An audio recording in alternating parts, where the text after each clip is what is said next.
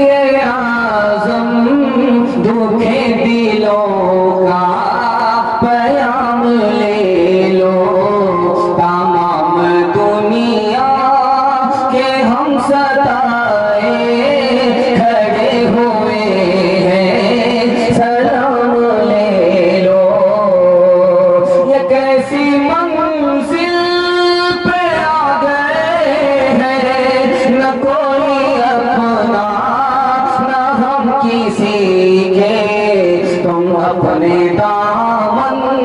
तुम अपने दामन में आज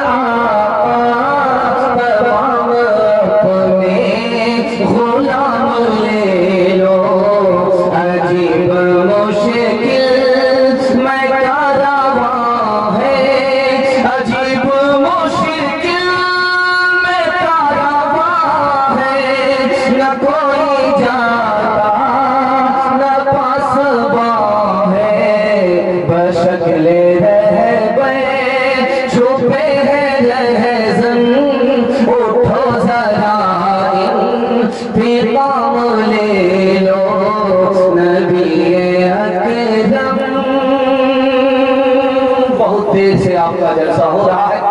आप भी सुनते सुनते थक गए हैं, क्योंकि खा करके बैठे देर से जलसा शुरू हुआ। और जल्द ही जलसा खत्म होने के करीब आ चुका ये मोहब्बत है कि आप लोग घर गए नहीं, और जलसा में दुआ के इंतज़ार में आप लोग बैठे हैं। दिल से दुआ देता हूँ, अल्लाह दीन दुनिया दोनों की भलाई से आपको माला माल फरमाए। सुनने के लिए यहाँ से लेकर के वहाँ तक मुकम्मल तैयार है। दोनों हाथ उठाइए, इंशाल्लाह। सो करके सुनेंगे, हाथ उठाइए, इंशाल्लाह। ध्यान से रखिएगा।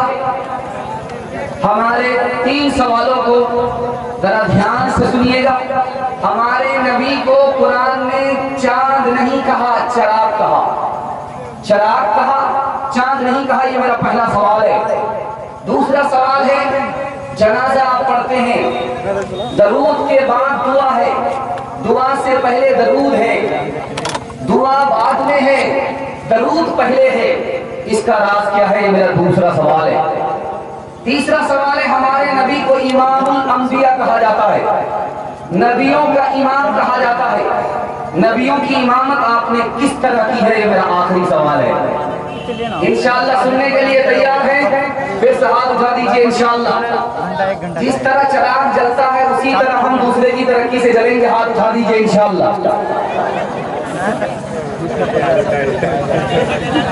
ये वाला है।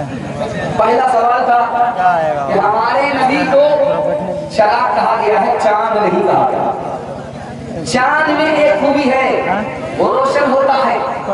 सूरज में एक खूबी है वो रोशन होता है। लेकिन जो चराग के अंदर खूबी है वो चाँद में नहीं है। एक चाँद से दूसरा चाँद रोशन नहीं होता। एक सूरज से दूसरा सूरज रोशन नहीं होता। लेकिन एक चराग से दूसरा चराग रोशन होता है।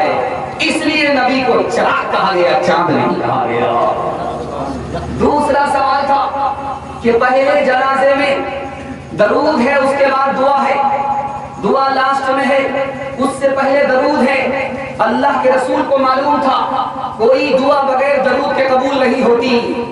इसलिए अपनी उम्मत को तालीम किया, पहले दरूद पढ़ो, उसके बाद दुआ करो। तीसरा सवाल था हमारे नबियों को इमामों का इमाम कहा जाता है।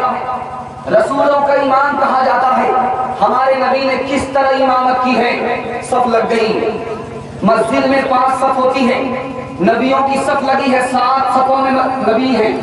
रसूल है। इमामत के लिए हमारे नबी को आगे बढ़ाया गया।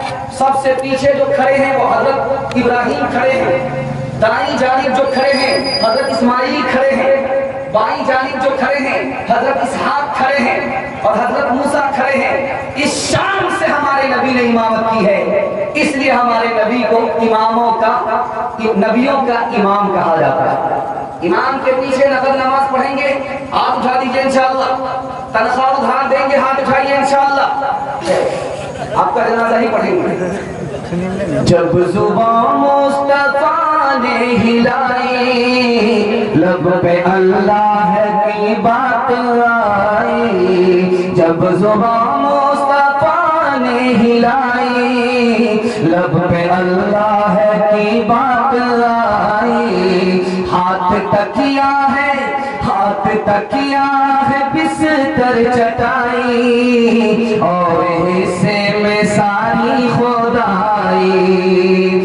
में कौनेन पहले सजाई गई? फिर तेरी रात मंजर पे लाई गई। सैयदुल अव्वली, सैयदुल आखिरी आखिरी। नहीं, तुझसा कोई नहीं। जब कलम ने लिखी नात अहमद बन गई रोशनाई, जब ज़ुबान मुस्तफ़ा ने हिलाई, लब पे अल्लाह की बात आई, दस्त कुदरत ने ऐसा बनाया तुझे, जुमला औसाफ से खुद सजाया तुझे।